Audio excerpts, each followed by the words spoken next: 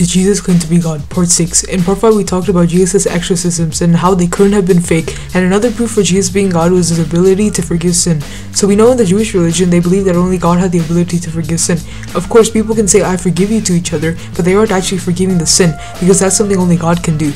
Yeah, many times in the Bible it is written that Jesus was forgiving sin, and Jesus actually did this in front of the Pharisees, the Jewish elders, meaning that they were the best of the best Jews. Immediately, the Pharisees accused Jesus of blasphemy and were questioning, How can this man forgive sin? And I already explained how blasphemy was the reason that Jesus was killed in part 2, and I explained how he wasn't crazy either. So we know that Jesus was a sane person, yet he was here forgiving sin like he was God, and acting like he was without sin.